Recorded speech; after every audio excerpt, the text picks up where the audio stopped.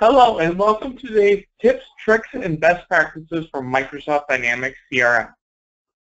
Today's topic is how to merge records. Merging records is a vital piece of Microsoft Dynamics CRM. And the reason for that is it helps to keep your data clean. And CRM is only as good as the data that is housed within it.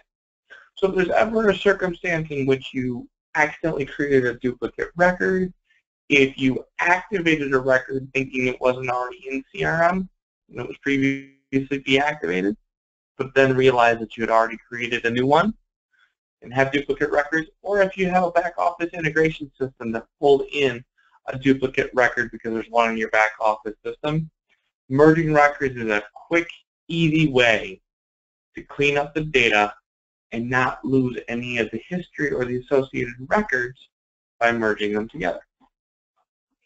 So let's jump into CRM. I'm going to show you exactly how easy it is to merge two records together. So within CRM, from our main drop-down menu, we're going to go to Sales, and then we're going to go to Accounts. And as you can see here, I have two duplicate records of Alpine Ski House. So what I want to do is I want to check mark each one of these. And you're going to see the merge button right here. Now let's say I had a third Alpine ski house.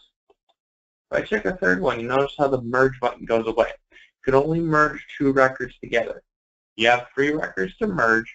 Merge two of them together first, then merge the master record that stayed and the third record together. That way you can go from three to one. It's just an extra step merging.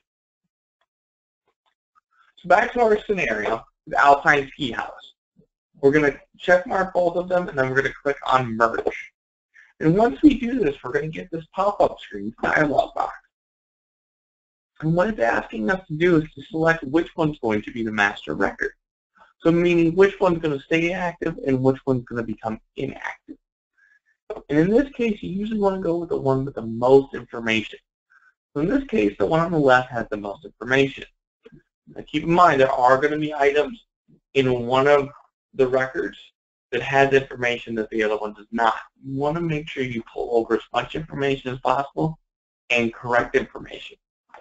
So as you can see here under ticker symbol, we're missing that in the left-hand column. So what I'm going to do is I'm going to click on the right record, and it's going to pull in APSK for the ticker symbol into the master record. So you're selecting which fields are the master as well.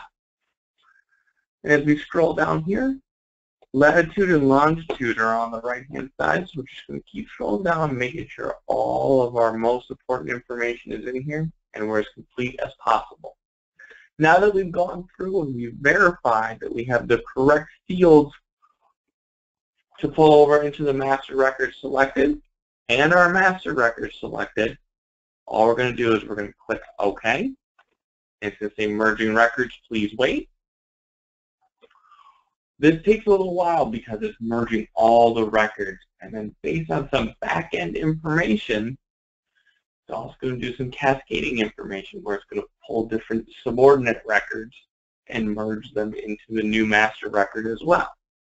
So as you can see here, the selected records are merged and the subordinate record is deactivated, meaning the non-master. We're going to click OK. It's going to refresh, and as you can see here, we only have one Alpine ski house in our active accounts.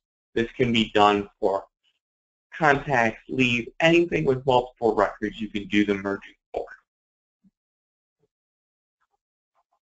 Thank you very much for your time today, and I hope you really learned some great information about merging records and how to merge them. Are you ready to learn more? If you're looking for additional tips, resources, and information, visit us at ledsviewpartners.com. Our contact information is listed on the slide here. We are always happy to help with any questions that you have. Have a great day.